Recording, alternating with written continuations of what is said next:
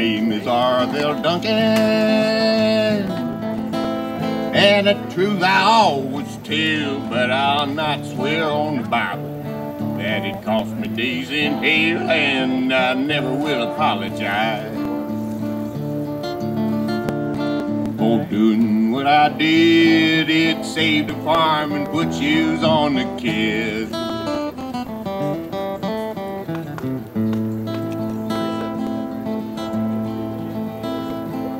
Lived in Duncan Holler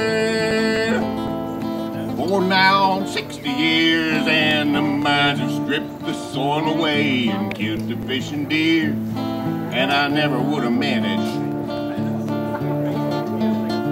to hold on to what I got had I not learned to grow a bit of pots.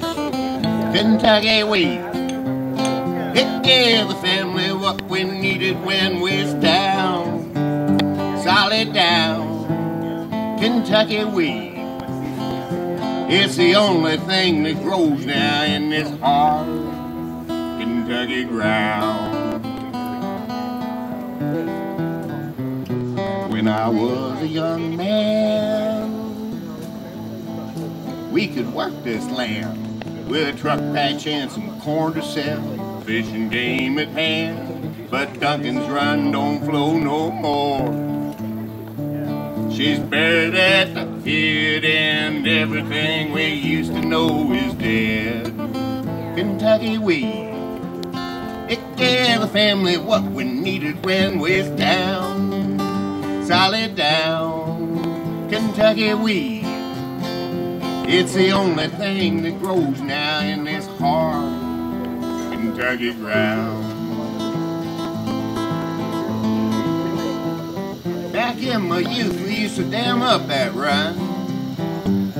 We'd go bathing when the work was done, and when supper was finished, and the sun going down, Papa plays fiddle on the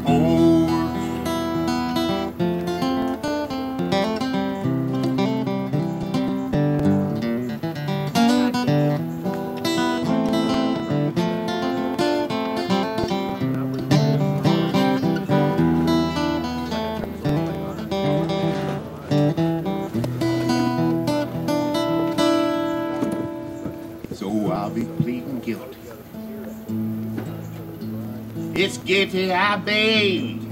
Feel free to lock me up and throw away the key, but outside that window there, where Buck Mountain used to stand, the tears of God are flooding across this land.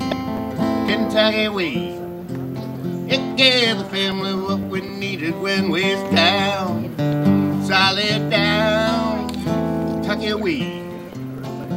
It's the only thing that grows now in this hard Kentucky ground. In this hard Kentucky ground. In this hard Kentucky ground.